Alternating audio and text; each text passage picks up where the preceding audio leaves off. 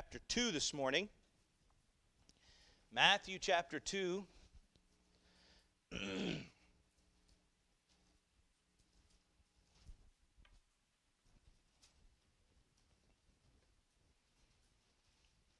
Matthew chapter 2, and we're going to start by reading verses 1 through 11 this morning as we look at a message we've titled The Celebrity of Christ's Nativity.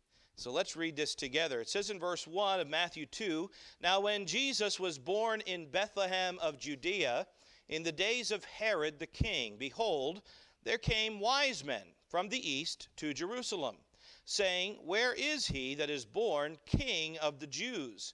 For we have seen his star in the east, and are come to worship him.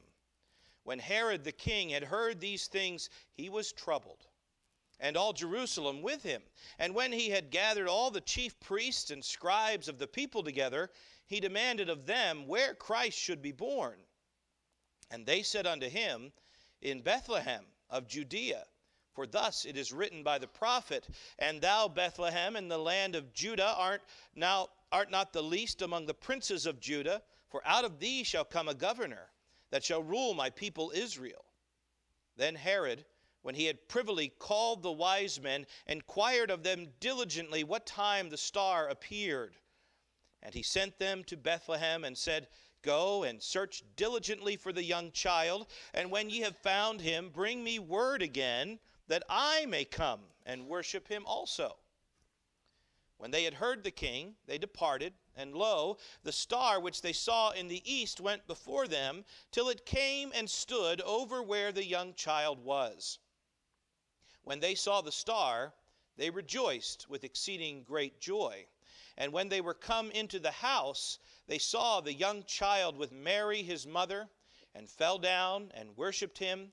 And when they had opened their treasures, they presented unto him gifts gold and frankincense and myrrh.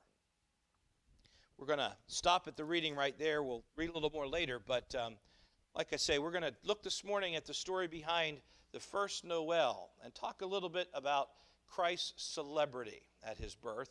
And let's have a word of prayer before we look into this this morning. Lord, we do thank you for what's already gone on before. We thank you for the praise that we can have for this time of the year when we think of your Son came, who came as a baby, who came in flesh, that we might worship him. We thank you that we um, have these moments now to study your word. We pray that it might uh, the truth might reflect and get within us and penetrate us this morning.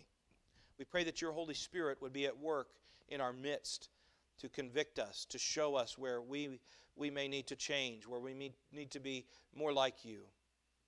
And we just commit this time to you, and we thank you for the opportunity. And we ask it in Jesus' name. Amen.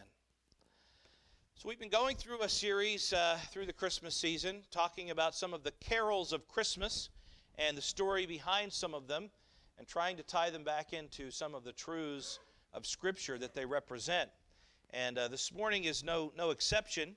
Um, we've titled the message The Celebrity of Christ's Nativity, and that's because, you know, even though he was born in a manger and he was born to poor parents, uh, there was a certain notoriety that came with his birth as well. And we see that probably expressed the most uh, acutely for us when we see the visit of the wise men who came from the east, who brought him these gifts. Um, Jesus Christ's celebrity was known far and wide by the scriptures, by the prophecies that had told of his coming. And um, when we uh, when we think about this, of what the celebrity of Christ is all about, um, we're just going to look at some simple ideas this morning uh, that come from this song. Actually, the first Noel. Now, if you're like me, the first Noel is, I don't know, I shouldn't even say this. Probably not one of my favorite Christmas songs because it's got what, 12, 13 verses on it, you know, and they all sound the same. By the time you're done, you're like, what did, what did we just sing? Well, there's a reason for that. Um, the, the first Noel is actually considered a ballad. And it, and it tells a story over the course of multiple, multiple verses. And the first Noel is actually one of the oldest Christmas ballads that's still sung today. Um, it first appeared in print in 1833, so that goes back a good ways as it is. However, the song itself goes back probably at least 300 years before that. So this goes back to the Middle Ages. The exact time and place of its origin are in doubt. Both France and England claim that they're the ones that originated the song and uh, they can have that debate. But uh, either either case, they can claim it as part of their heritage. But what we do know is that that word Noel comes from a French word. Noel. It comes from a French word that, that's derived from the word in which we get nativity or the birth of Christ. And it really means a joyful shout expressing the exhilaration at the birth of Christ. That's what we're talking about when we talk about this first Noel. It's this first exhilarating, jubilant shout, expression of praise, expression of Christ's greatness at his birth. And so the song, we don't know the writer. The, it was an anonymous writer. However, we do know that enough about the from the language of the song that uh, that when they used this word Noel, that they they understood their language enough to to use this as an all encompassing term to begin this chorus every time. Noel, Noel, born is the King of Israel. Right? This is the this is the chorus that ends every one of these long verses. But uh, even though he used such a great term and a great expression here to celebrate Christ's birth and to talk of his celebrity, um, we also know that there were quite a few things in the song that, uh, that aren't really scripturally sound. In fact, I will tell you this much. Um, probably a lot of the, the biggest misinformation that we have about Christmas in our minds as Christians today comes from the understanding of this song because the writer himself probably didn't actually have a Bible. And think about it, this was the Middle Ages. This was at a time when there were very few Bibles in circulation. They were either, the Bibles that were around were handwritten, it was before the printing press, and they were either written, they were kept in a monastery or they were kept in the church. And uh, the common people rarely even saw a Bible, let alone read one. And uh, the Bibles were written in Latin at the time, so that wasn't the t- typical tongue that they would have even used as a commoner. And even if they would have been able to find a Bible and see it in Latin, uh, they probably wouldn't have read it, been able to read it anyway, because the vast majority of the common people in that time were illiterate. They didn't know how to read or write. And so it's probably the case of the composer of this song, the first Noel. He didn't have a ready Bible to guide him, and so the writer likely just drew stories about what he had been told about the events of Christ's birth. And so he recounted a lot of it accurately, but uh, unfortunately, there were some errors. Um, and uh, I don't know whether we don't have to tear the song apart to, to enjoy it, but the fact is, we ought to know where the mistakes come into play when we sing the song. So we realize this is a, you know, song written by a fallible man, right? And we as men make mistakes. That's part of who we are in humanity. And so uh, this is a song, and we see in the first verse, we see, on a cold winter's night that was so deep, right? Do we, do we believe that Christ was born on December 25th? I'm not going to ask for a raise of hands. but no, uh, it, there's nowhere in the Bible that it says he was born on December 25th. In fact, most scholars would say he probably wasn't born in December at all. Uh, it was more likely he was born in the spring of the year, not in the winter. But even if it was in the winter, in the coldest part of winter in Bethlehem, do you know what Bethlehem is like? It's not three feet of snow in Bethlehem in the winter. In fact, I looked it up. The, the lowest average temperature of the year in Bethlehem is 47 degrees Fahrenheit. So it's colder here today than what the coldest average temperature in Bethlehem is. Now, that doesn't mean they don't see snow. They, they do sometimes. It sometimes gets cold enough to snow there, but, but I don't think there was deep snow and uh, I don't think this was done in the cold of the winter's night. But uh, anyway, the imagery survives for us, doesn't it? You think of the cold, harsh winter and trudging through the deep snow. We know what that's like in Pennsylvania. I don't think they would have known what that was like in Bethlehem in Jesus' day. And then, of course, in verse 2, It says, the shepherds, talks about the shepherds in verse 2. It says, they looked up and they saw a star shining in the east.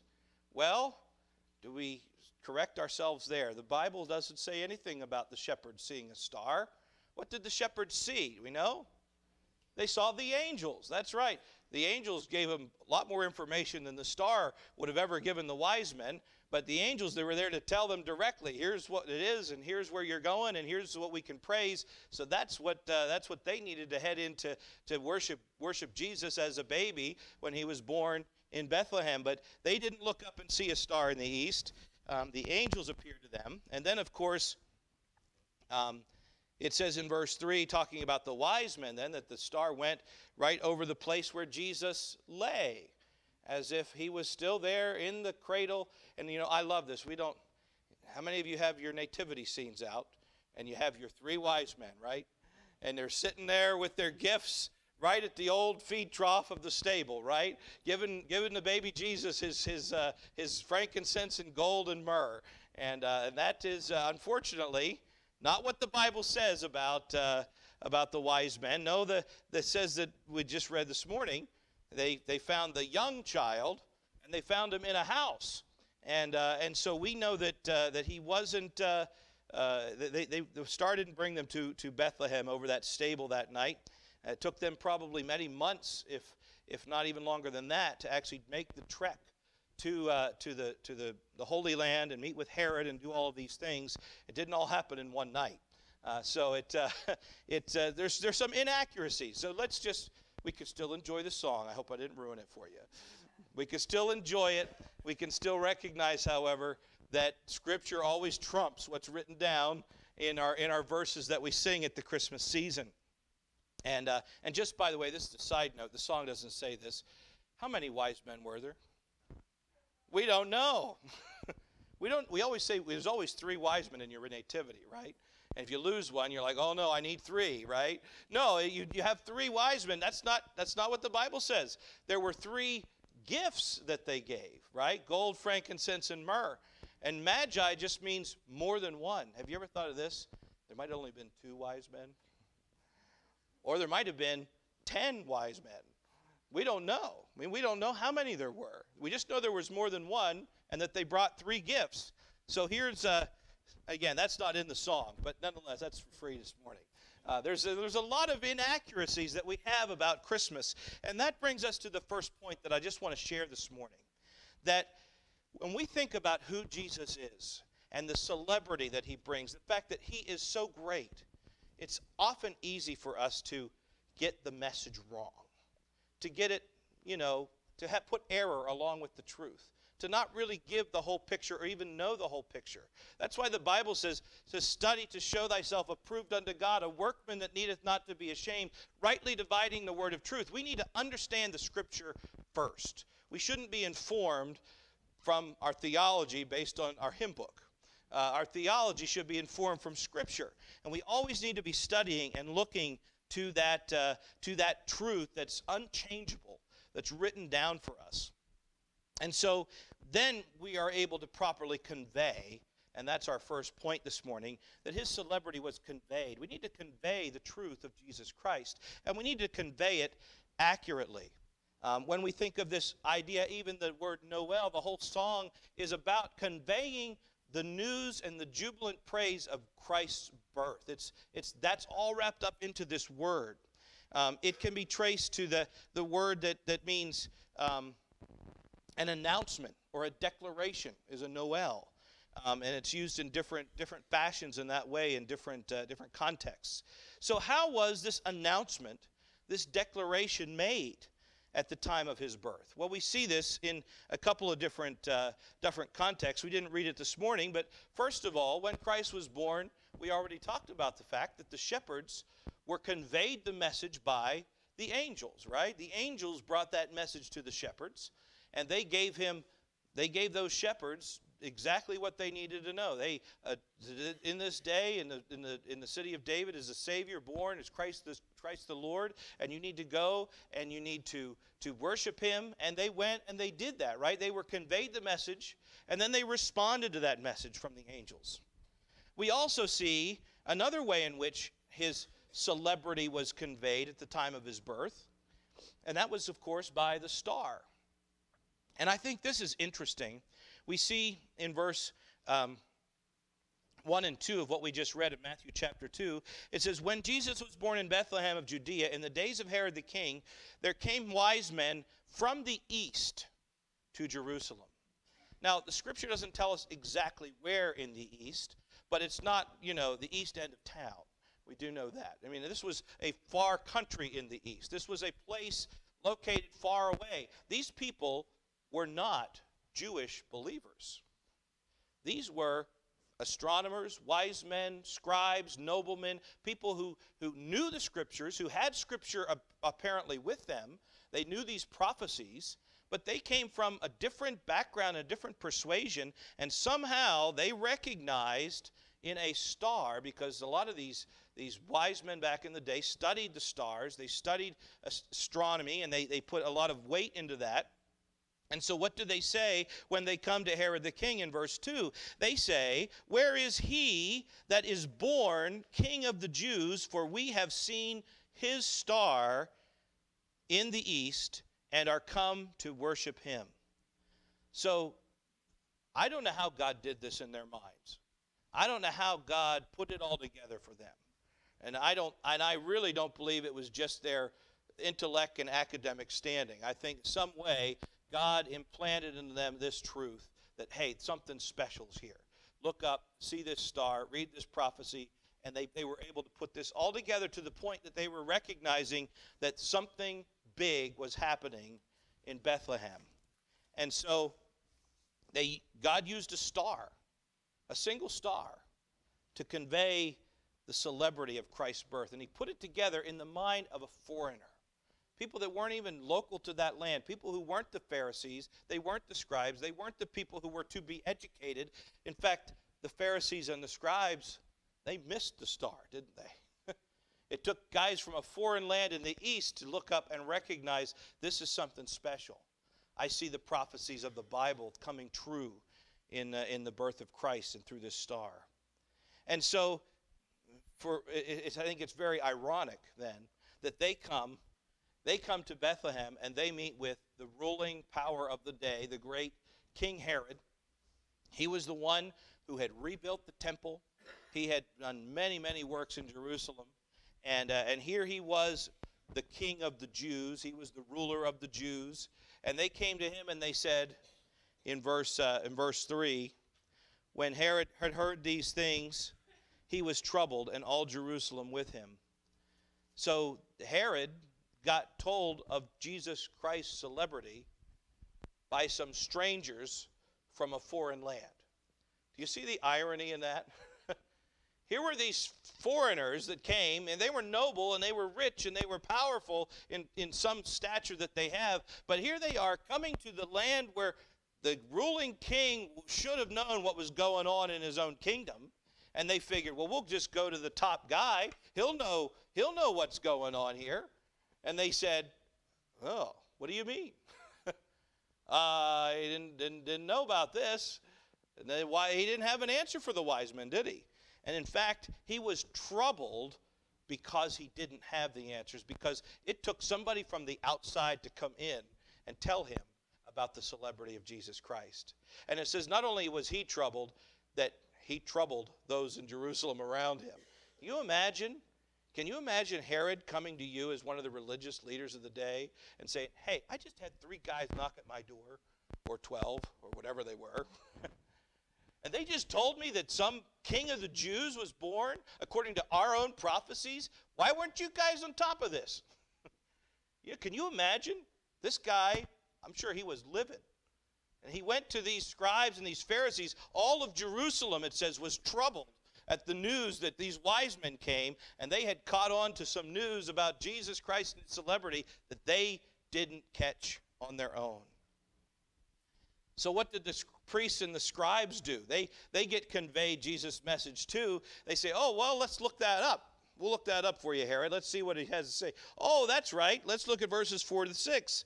He says, He gathered all the chief priests and the scribes of the people together. He demanded of them where Christ should be born, and they said unto him, Oh, we looked this one up. Here's what it is it's in Bethlehem of Judea. It was written down for us all this time. I don't know how we missed that before, you know? Can you imagine the egg on their face? Here they are. Oh, that's right. Herod, uh, sorry, we should have warned you last week. But uh, yeah, this is, this is what they're talking about here. And in verse, uh, verse 6, they actually quote from the prophet Thou, Bethlehem, in the land of Judah, art thou not the least among the princes of Judah? For out of thee shall a governor, shall come a governor that shall rule my people Israel. Boy, the news gets a little worse. Uh, by the way, Herod, you know that baby that the prophecies are talking about, that these wise men are asking about? Uh, he's going to be governor. Uh, he, he's going to be a ruler. He, he's going to be a king. Um, Sorry about that bad news, Herod. Uh, this has to have been a very awkward situation for the priests and the scribes. But yet, it was there in black and white before them, but they had missed it. Now, isn't that true for us today? God's truth, who Christ is and what he means, and what the significance of what he does for us and means for us today, we all get that sometimes in different methods in different ways, don't we? If I went around the room this morning and asked, How did you first learn about Christ? There's probably a story that's unique to every individual. The question is, what do we do when we learn about that Christ? How do we respond? What do we do to, to either accept or reject this message? Do we, do we sit around and say, well, yeah, I've heard about Christ. I grew up in Sunday school all my life. We've been hearing those Bible stories and all this time, and you know, yep, that's what it is. I'm, I, I'm there. Well, this was where the priests were, right? They had heard all these things, but they missed the significance of it.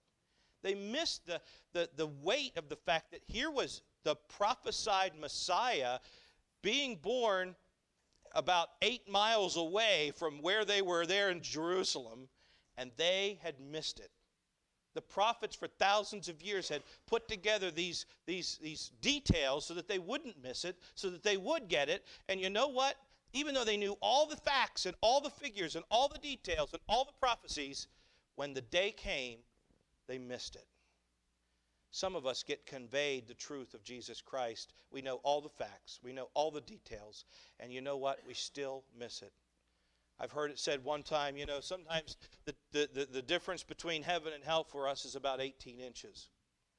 You know, we have it all in our head, we know all the knowledge, we have all the facts, but it never affects our heart. We never accept Him, we never trust Him by faith. Jesus Christ says, You need to come to me by faith, and you will get my grace. My grace will come in. Your whole, my Holy Spirit will come into you. You will be born again. You know, it's not just about knowing all the facts. It's not about being able to recite the Bible stories. It's not about being able to enjoy the Christmas story. Those are all good things. But we need to have Christ in our heart.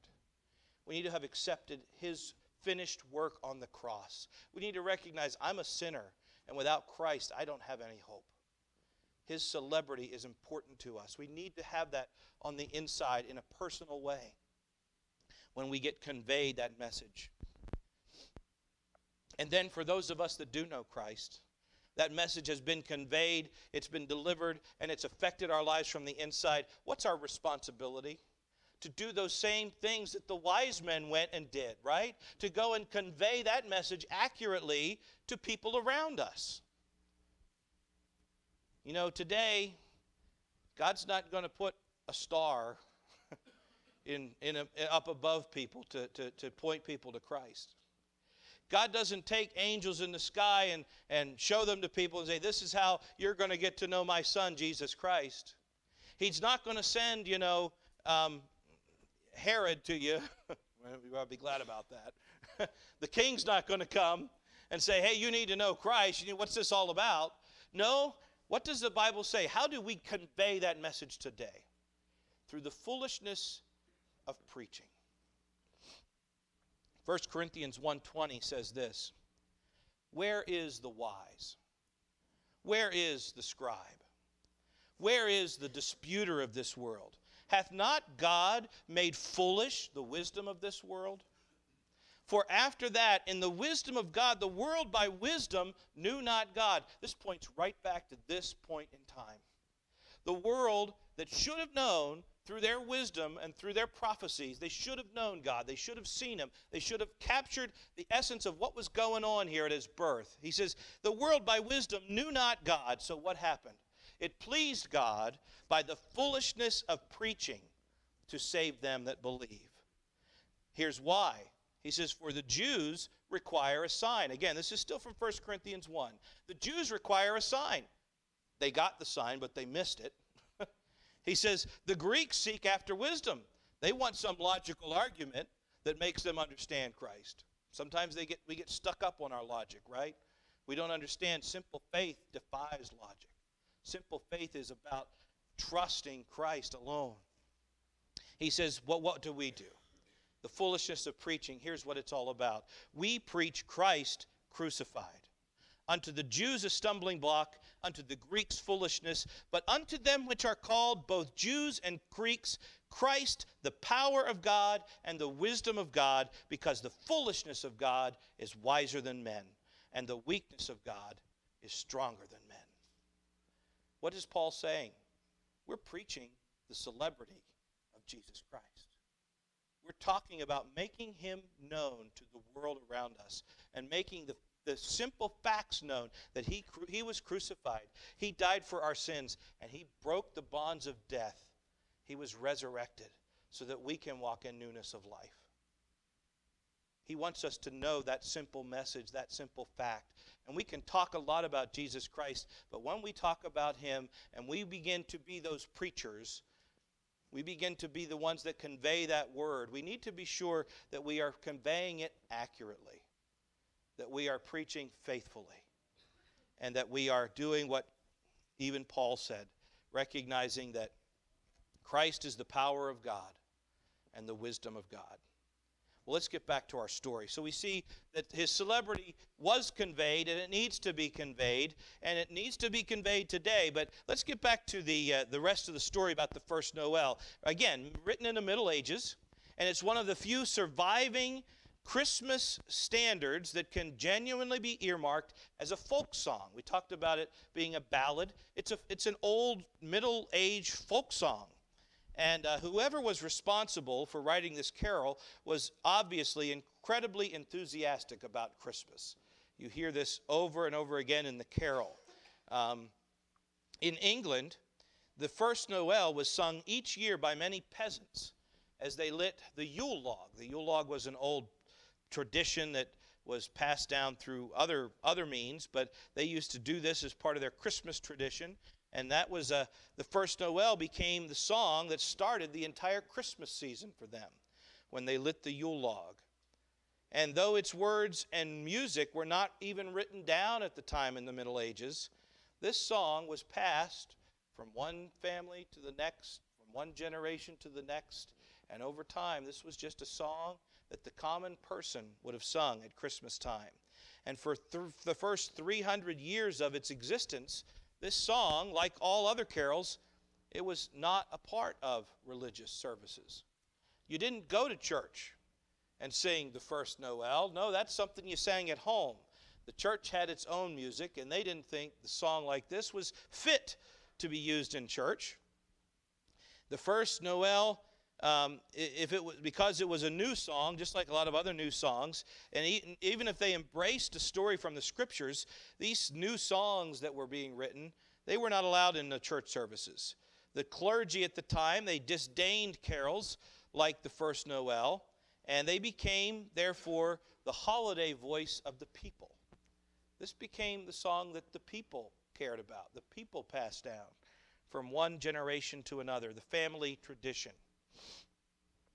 And we can't get into all of them, but there's a lot of songs, Christmas songs especially in our hymn books, that would have been lost if the common folks had not passed them down from one generation to another. Uh, because they weren't celebrated in the church. In fact, they were condemned. They were condemned as saying this is not appropriate for use in the church. And uh, so I just want to stop right there and recognize something else that's true about our story that we talk about with Christ. And that is, just like this song was condemned for the first 300 years, not to be a part of church or worship or anything else, oftentimes when we hear of the truth of Christ, that message is condemned in us too, isn't it? It's condemned by people that we meet. Let's read again our story from Matthew chapter 2. Let's pick it up in verse 12. We're going to take, take a look at what happened. What was the result of this story?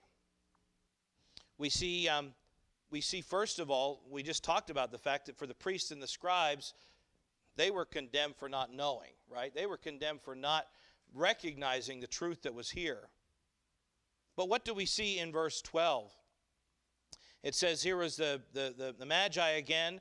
Verse 12 says, They being warned of God in a dream that they should not return to Herod, they departed into their own country another way. And when they were departed, behold, the angel of the Lord appeareth to Joseph in a dream, saying, Arise and take the young child and his mother, and flee into Egypt, and be thou there until I bring thee word. For Herod will seek the young child to destroy him. When he arose, he took the young child and his mother by night and departed into Egypt and was there until the death of Herod, that it might be fulfilled which was spoken of the Lord by the prophet, saying, Out of Egypt have I called my son. Then Herod, when he saw that he was mocked of the wise men, was exceeding wroth, and sent forth and slew all the children that were in Bethlehem and in all the coasts thereof, from two years old and under, according to the time which he had diligently inquired of the wise men. There was a lot of condemnation that came as a result of Christ's birth. We don't often think about this horrific part of the Christmas story. But you know, the birth of Jesus Christ there in that manger in Bethlehem was great for us, it was great for his parents, it was great for the salvation of the world, but it wasn't so great for all of the mothers that gave birth in that town and in that villages surrounding Bethlehem in the days before and after the birth of Christ. Think about what they had to sacrifice because of the condemnation that Herod brought down upon this, this, this region of the land, all because a king was born, all because of the birth of Jesus Christ. There was condemnation that came with it. You know, we think about the word celebrity. I chose this on purpose because what does celebrity mean? In our minds today, celebrity often talks about, you know, who's uh, who's making the, making the moves, right? Who's always on on the Twitter or who's always on the Facebook or who's always making the news about whatever. I don't even understand why some people are celebrities anymore, but uh, but nonetheless, they put their face in the magazine and they get celebrated, right? They're celebrity. They are well known. They're people. They're become household names, and I can name you household names that I'm not going to. You could you know you know the name when I say the word Trump, he didn't have to become president. He was a celebrity before he was a president, right? Trump became synonymous with whatever it is that he represented before, before he even became president. You think of a name that's in current day thought, you, you, you, just a single name, and you know. You know what that represents. You know who they are. But you know, people's celebrity come and it goes. If I said to you the name um, Mr. Atlas, anybody know Mr. Atlas? Only a few of the older generation. Mr. Atlas was a celebrity in the 50s, but he's not so much anymore today. He was known as a strong man. He was known as a, you know, a, a celebrity in, in that day. Uh, you, you, he was synonymous with strength and vitality. Today, we don't know who he is. That's why people's celebrity comes and goes. Who can name me a celebrity from 1820? Hmm, okay. Not sure about that one. How about 1750? Well, maybe George Washington. I don't know. Uh, but, you know, Abraham Lincoln maybe came. He became a celebrity. We still maybe have a few of them. But for the most part, celebrities that lived and died and moved on, we don't know anymore. And the same will happen for us today. But you know, the celebrity, the well known nature of who Jesus Christ, that has lived on. From the time of his birth, 2,000 years ago, until today, there is hardly an individual that doesn't know the name Jesus Christ. That doesn't mean that they know him. But I get I can guarantee you that you've met lots of people that know every four-letter word in the in the alphabet and Jesus is the only six five-letter word that they know. Right? because they use it. They know his name. People know the name of Jesus Christ. But they don't know him. Just like sometimes we have celebrities that we talk about, we see their pictures and we know what this is or we know what it's about, but we don't really know them. You know, the difference in Christ's celebrity is he wants us to know him. He wants us to know him personally. And you know, people can take what they hear of Christ and they can decide if it's for me or if it's not for me. He doesn't force us to choose him. Just because he's well known doesn't mean he's always well liked. And this is the case here with uh, King Herod. The, pri- the priest and the scribe, I think there's two reasons. There's probably more, but there's two reasons in our story this morning for why Jesus Christ's celebrity sometimes gets condemned, why it sometimes gets disliked by people.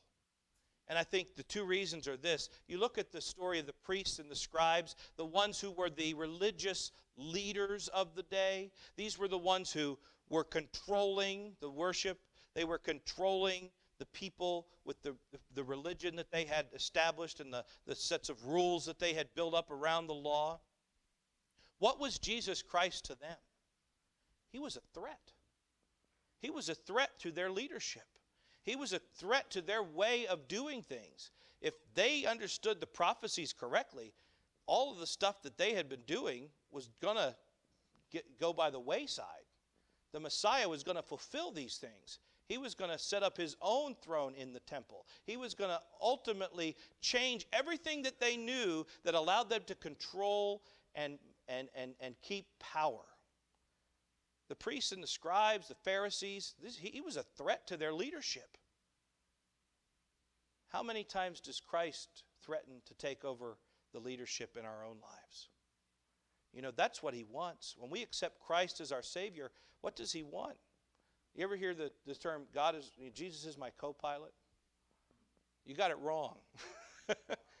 he doesn't want to be your co pilot, he wants to be the pilot, he wants the leadership. He wants control of every aspect of your life. He wants to, to fly you in the direction that He wants to take you.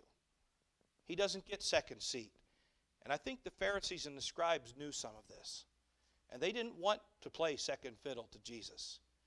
He was a threat to their leadership. And for King Herod, of course, he was deceptive with the wise men. He says, Oh, let me know when you go find him because I'm going to come and worship him also. And uh, that was the most thinly veiled, insincere statement of malice that I think you've ever heard. And this was emitted from the words of King Herod, only to ultimately come back to. Um, uh, you know, the, the, the, great massacre that he enacted there in the, in the city to try to kill off every person. Why was he so against Jesus Christ? Because he was a threat to Herod's lordship. He was a threat to Herod's lordship. Do you hear what the. I don't think you realize the significance of this in in verse 2 of Matthew 2. The wise men came to him, and the first thing we hear them say was, Where is he that is born king of the Jews? Why is this significant? We don't even think, okay, so they just said this. Do you realize that in 40 BC, King Herod, who was friends, by the way, with Mark Antony, remember if you're your old Roman history, we had Mark Antony and Cleopatra, the stories there. King Herod was personal friends with Mark Antony. And so he knew a lot of the Roman Senate. He had a lot of the inroads to the political higher ups in Rome. He had worked and worked, not just politically, but through a lot of nefarious means to get himself to the place where by 40 BC, this was almost 35 years or more before Christ was born, the Roman Senate in Rome sat together and they voted to have King Herod named the title King of the Jews. That was King Herod's official title, according to the Roman Senate. The Roman Senate called him the king of the Jews. They gave him a garrison of Roman, Roman soldiers. And he went and for the next three years did battle with the different ruling families in Jerusalem and, and in the region at the time. And by the time 37 BC came along, Herod was not only the king of the Jews in title, he was officially conquered the land. He had officially taken control of it. And he was still a puppet under the Roman government, but he was named the king of the Jews. But you know what? He wasn't born. He was a self made man. He was made the king of the Jews. He was declared the king of the Jews, but he wasn't born the king of the Jews. So when the, the wise men came and says, I just, he just spent 30, he spent three years fighting and 35 years ruling and establishing himself as the king of the Jews. The wise men came knocking on the door, some stranger, and says, Hey, who is this? Who's the guy that's born king of the Jews? What? Can you imagine Herod's reaction? What? Born king of the Jews? Yes, he was born. He was a threat to Herod's lordship. And, uh, and for that, he was condemned. Jesus Christ wants to be Lord of our lives. We can't allow the things that we fought for, the things that we live for, the things that we want to make all about us become more important than what Christ wants to be above us. He wants to be Lord of our life. And we have to not have the same reaction that Herod did when we come to that. My time's about up, but we're going to just get through this quickly. The last part of this story. We see that Jesus Christ's celebrity was conveyed. We see that it was condemned. Let's look at this third part of the story. It was, wasn't until 1833 when a fellow by the name of William Sandys finally published the song, The First Noel. He was a lawyer by trade, but he loved music, and he spent his spare time collecting both French and English folk songs. How do you like that for a hobby? Anyway, this was his hobby. Already, if this song was a favorite by the peasant class, and by the mid 1800s, um, after this song was published, eventually the church did begin to use some of these new songs during their services. And so it was that this song, the first Noel, already established in people's home, found universal acclaim within the church. This song, even though it was written by a common illiterate man, it remains a very loved carol. The writer seemed to bring this jubilant spirit to the song, a song that no doubt the composer not only believed every word that he wrote, but he was excited about the story that he had to share. It represents one element that eludes so many of us and so many of our world during the Christmas season, and that is the announcement of Christ's arrival on earth it's easy to see around us lots of decorations the holly, the trees, the Christmas spirit, the well wishing, the this and the that, and to miss what is most important. And that is the fact that Christ's birth requires us to announce it, to declare it to the world around us. It says in verse, the last verse of the song about these wise men then entered in those wise men three, full reverently upon their knee. They offered there in his presence their gold and myrrh and frankincense.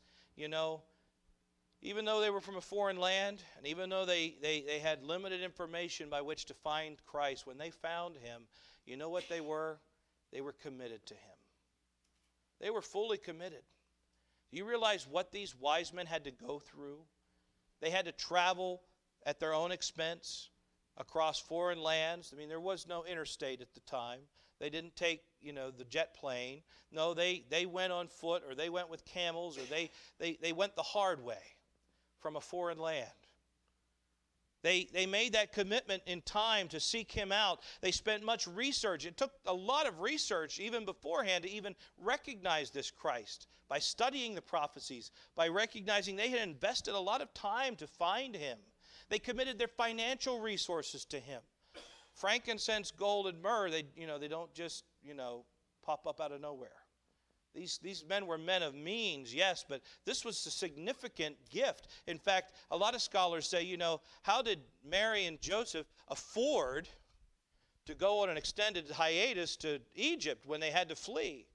A lot of scholars say it was probably the money that they got from this gold and myrrh and frankincense that allowed them to even survive in Egypt for all this time. If you go off and live in a hotel for a few months or a couple years, you know that the bills start racking up. Well, this was a means by which God provided for them, I think. But it was because these wise men decided to commit their financial resources to, uh, to, this, uh, to this truth of Christ. They had come prepared to give this to him. And ultimately, they were committed to God's leading in their life. When God, through the angel, came and showed them this is not what it seems with Herod, they, they okay, we'll change plans, God. we'll go a different way home. We'll go the hard route. we'll go the long way. Uh, we'll go the scenic route, whatever.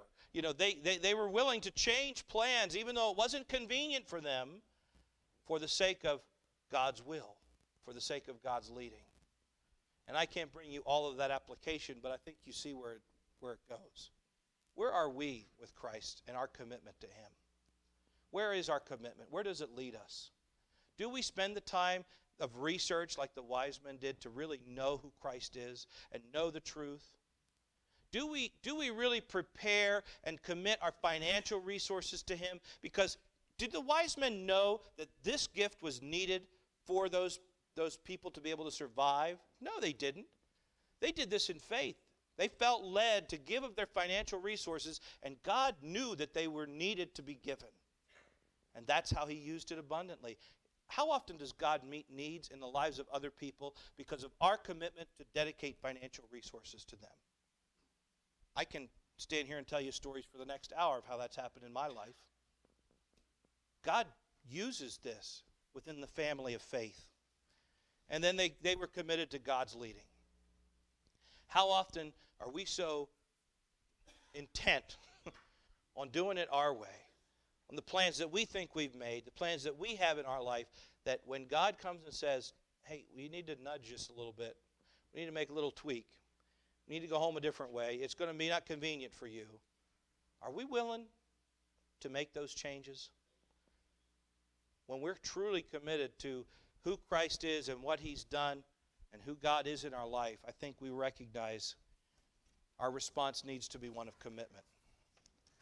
So we have the need to convey Christ's celebrity, the recognition that some will condemn the celebrity of Christ, and ultimately we should have a response where we have a full commitment to who Christ is, to knowing Him and to making him known. Let's have a word of prayer.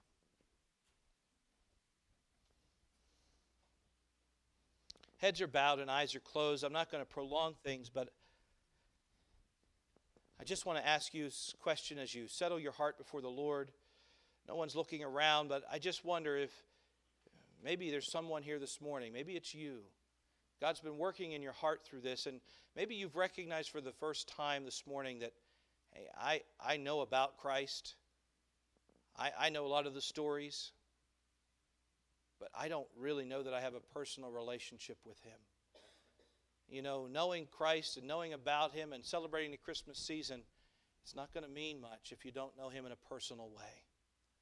If that's you this morning, I'd just like to pray for you. There won't be eh, any, any special call this morning, but just raise your hand. I'd like to pray for you. See, I'd like to know Christ as my Savior. I know about Him, but I don't really know Him in my heart. I haven't put my faith in Him, my trust in Him. Is that you this morning? Would you raise your hand? Maybe there's someone else this morning. We say, Hey, I, I've known Christ all my life. I've trusted in Him. I'm born again, but, you know, I don't know that I'd have the commitment of those wise men. I'm not sure that maybe I've been conveying Christ's truth accurately or faithfully to others. And God's just stirred me in some way and shown me something specific this morning that, that I need to commit to Him. Is that you this morning? I'd just like to pray with you. No one's looking around. Just raise your hand. Yes. Others. I'd like to find a greater commitment to Christ. God's showing me that. Others? Lord, we thank you that Jesus Christ came, that he is well known, but yet we still have a message to bring. We pray for those that raised their hands this morning that you're working in hearts. I pray that you would continue to work in those hearts. Help us to find greater commitment. Help us to be more faithful in conveying your truth to others and showing people who Christ is and what he's done for them. We just ask it now in Jesus' name. Amen.